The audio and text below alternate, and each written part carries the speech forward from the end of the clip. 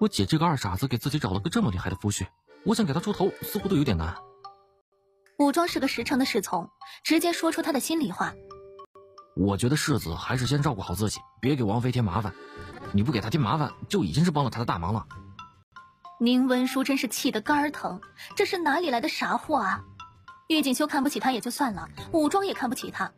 也是，他现在病得全身上下一点力气都没有，要不然他真想打死武装。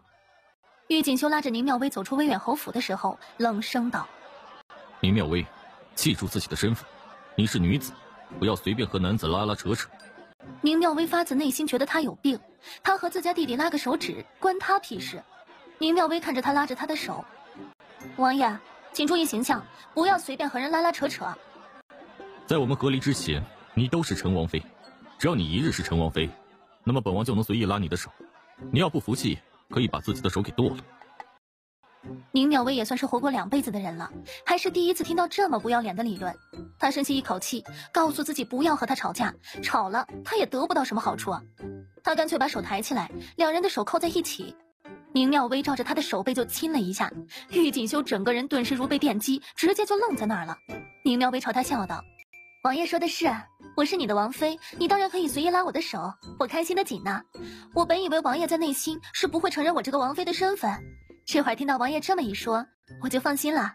王爷既然承认了我的身份，想来也是愿意承担这个身份的义务了。宁妙薇一边说，一边朝郁锦绣靠近了些许，用她的香肩还轻轻撞了他一下。宁妙薇靠得近了，郁锦绣的鼻子里就闻到了专属于她的香气，清幽雅致，撩得她心跳都乱了一拍。她脑子有些发懵，下意识就问：“什么义务？”“当然是圆房啊。”玉锦绣听到“圆房”这两个字儿，刹那间只觉得脑子轰的响了一声，俊朗无双的脸立即就涨得通红。他一把甩开宁妙薇的手，恶声恶气的：“你做梦吧！”他说完，直接就将两匹拉车的马吓了一匹，骑上去掉头就跑。原本玉树临风的背影也显得急促无比。他这一系列动作一气呵成，仿佛宁妙薇是洪水猛兽，被吓得落荒而逃。宁妙薇不过是逗了他一下，却没料到他反应竟这么大，不就是亲了一下他的手背吗？宁妙薇愣了一下，一个没忍住，站在马车前哈哈大笑。他实在是没有想到郁锦绣竟还有这样的一面。郁锦绣在马上听到他的笑声，觉得自己今天的反应也太大了些，竟然被宁妙薇笑话了。只是他又觉得这会儿要是回去找他，他估计能笑话死他。